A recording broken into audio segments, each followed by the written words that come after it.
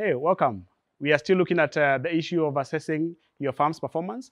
And it's good to emphasize that you don't just check, also score yourself. Put a mark on every uh, things that, you, uh, that, that, you're checking so that you know whether there's an improvement uh, between this time you're assessing and the next time you'll be assessing. We have looked in previous topics at the people and the cows, but now we look at the structures. Are the structures good for the cows? On the matter of cow comfort and the barn uh, design, the point number one is the comfort of the cows. Are the cows comfortable? So we look at various aspects to determine whether cows are comfortable or they're uncomfortable. This can, we can be able to see this by looking at uh, the hocks. How is the, are they clean on the surface? Are they lame? And could those lameness have been caused by the structure that you've made for the cows? Two is how flexible or expandable is the barn? If you want to increase the number of the cows, can it be flexed to become bigger? Or can it be changed so that uh, you can be able to put a barrier here for the, to separate these cows and the others? Or is it too concrete and too solid and too closed?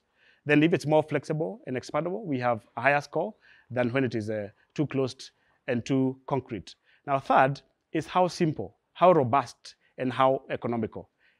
We don't want to see a complex or a, a concrete jungle, um, so many confused uh, sections of the barn. We want to see a very simple and robust and also economical, not too expensive, not too flamboyant, because the investor intends to use less uh, resources, but also come up with a comfortable place for their cows. Four is the optimization of the movements of the cows and the labor. Now, when the cows are moving from one place to the other, how close is the feeding area to milking? How close is the troughs to where the silage is being fetched?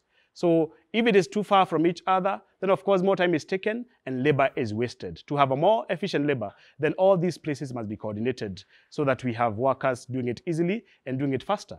Five is the ventilation and climate control. Is the barn well ventilated? Can the wind just blow between the cows so that they can be cooled off? Or has there been any effort to ensure that cows do not are not closed in to heated areas and they're having problems with heat stress and so on. How is the barn helping to control the climate for the cows so that the cows have the best climate within the barn as they are eating, as they are being milked, as they're moving around? Six is the matter of young stock. How are the young stock housed?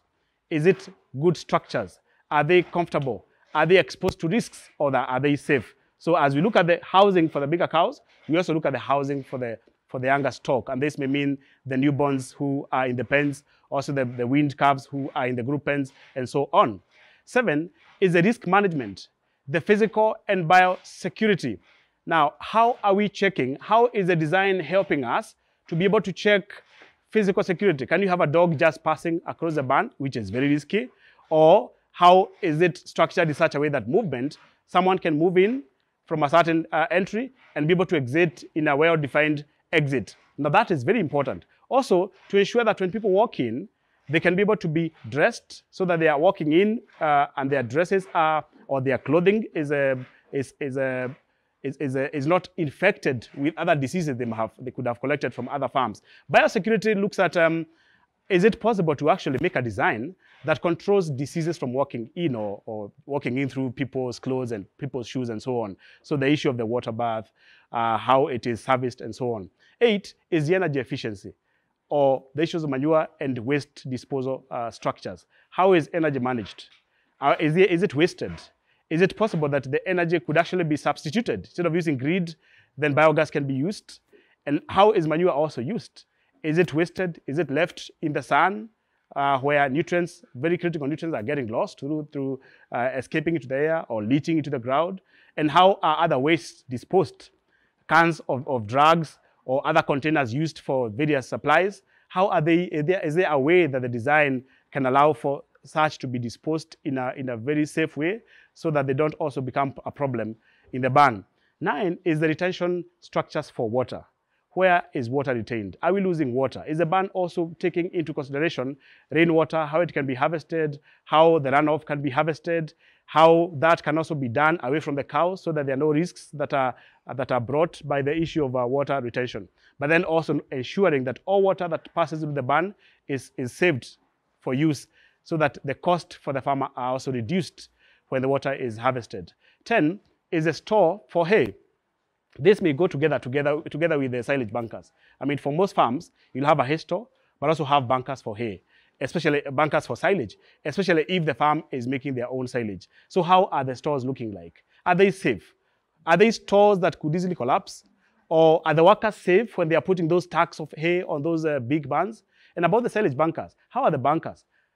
Are they big enough? Do they allow proper storage of silage without spoilage, without heating? And when the workers are fetching that silage from the bunkers, are they safe?